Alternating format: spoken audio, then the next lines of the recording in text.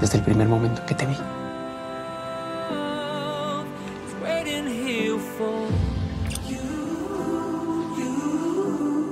Fabio, Gerardo, hoy nos hemos reunido aquí con la finalidad... Disculpe.